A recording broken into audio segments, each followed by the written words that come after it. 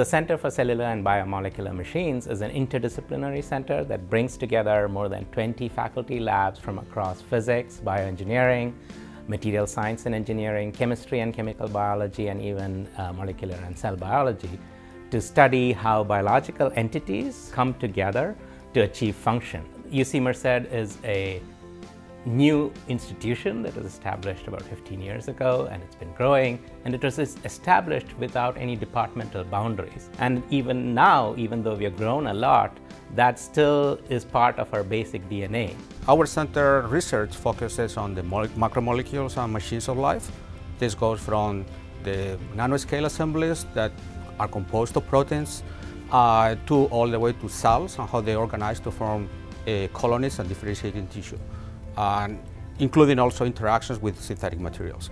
So we do all this type of research in an interdisciplinary and integrative way, and then we work all together towards these goals. We work on the circadian clock system of cyanobacteria, and the reason why we work on it is because we can reconstitute the entire clock in a test tube um, in the absence of any living cells, which means that we can look at how the clock proteins interact at the molecular level without any complicating factors that are associated with live cells. So one of the applications that the center is really looking for is try to develop biosensors that will be used for uh, diagnosis and for biomedical research. One of the key problems that biomedical research has nowadays is that it's very difficult to monitor the different processes at the cellular level.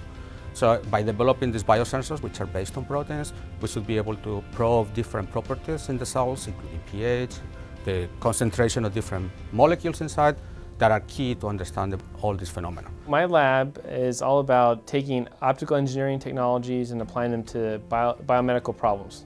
So we build new microscopes to try to answer biomedical uh, questions that have been unanswered because there's no technology to do it. So we build advanced microscopy for intravital imaging. Uh, we also do intravital sensing of things like oxygen in tissue at very small volumes. Um, and we're looking to branch out into other techniques as well. My research is on uh, using nanomaterials to put them together to make sort of novel multifunctional hybrid devices. So being part of CCBM actually got me started on this collaboration. So we make these nano-assembled shell structures that we can enclose things in and break them with light or heat and that's the sort of the platform that my group designed. But collaborating with them, we are actually translating it to work in tissue engineering platforms. This is where the collaborative part comes in and it actually lets me get a new and really exciting way of applying what my group uh, with other physicists have sort of come up with.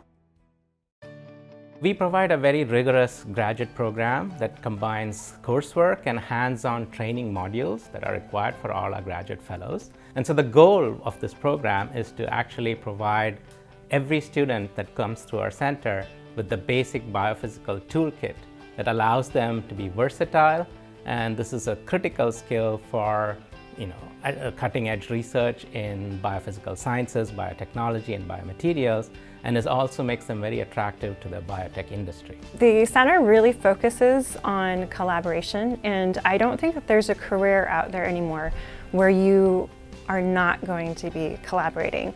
So it's a skill in learning how to communicate your research to people outside of your specific area, how to communicate the data that you're acquiring to other people, and it's just what you need in order to move on. It's been really interesting seeing the different work that's been going on in the community all the different things about protein folding and uh, tumor research. It's all going towards the hard problems that we face in society.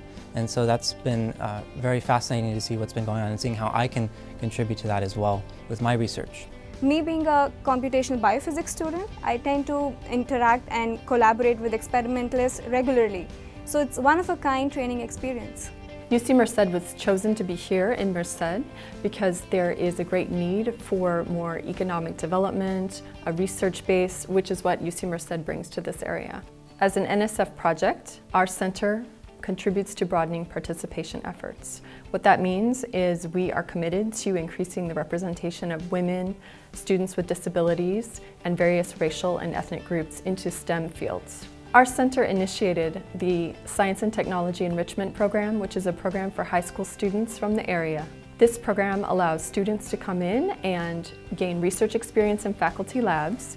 They also engage in a one-week orientation at the beginning of summer. They attend scientific talks throughout the summer and then in the fall they come back in our open house to do a poster session. We're proud of the fact that through our center and the funding and resources it brings to UC Merced, we're able to do new things that were not able to be done before this came. So we're excited about the new opportunities that this center provides for young people in the area, not just the undergraduates and the graduate students, but those who are living in the community. So my vision for the future of CCBM is to be an institution on campus that is a focal point for all biophysical science, biotechnology, biomaterials research, and also an entity that provides graduate education and training, including graduate minor degrees in these fields for all students from across the university.